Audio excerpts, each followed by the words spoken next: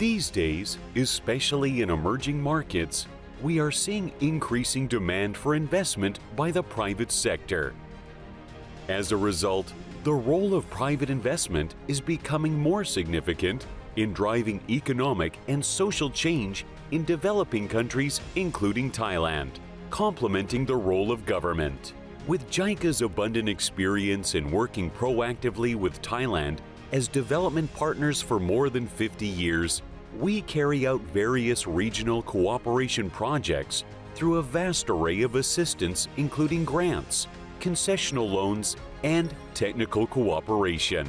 In line with government strategies, we at JICA intend to expand our areas of support to include private sector development through the Private Sector Investment and Finance PSIF scheme to provide a vast array of assistance such as debt, equity, project financing, and public-private partnerships. Working hand in hand with the private sector, JICA aims to increase the efficiency and effectiveness of achieving economic and social development with full and fair contributions by all relevant parties.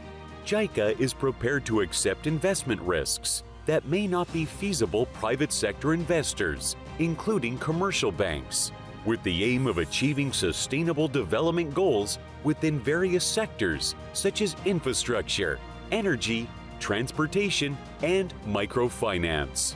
With speedy, flexible, and discretionary procedures, recipients can be sure of direct support from JICA with a unique financial package aligned to the specific needs of each business model.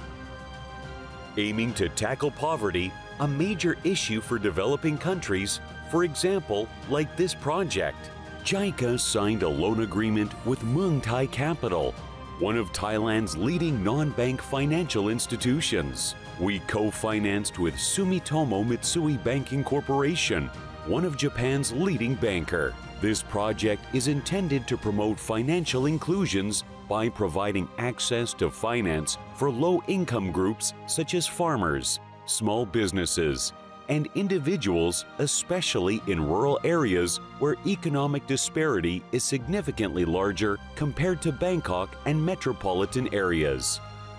JICA is also working closely with other development financial institutions, such as Asian Development Bank or ADB and International Finance Corporation or IFC. Similarly, JICA is collaborating with Asian Development Bank through the LEAP Fund, which stands for Leading Asia's Private Infrastructure Fund.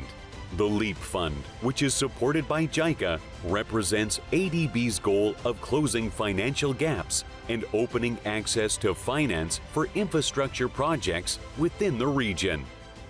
Under the LEAP Fund, JICA, together with ADB, provided a certified blue loan to Indorama Ventures to support their plastic recycling businesses and to promote the creation of a recycling-oriented society. Indorama Ventures is the world's largest manufacturer of polyethylene terephthalate PET.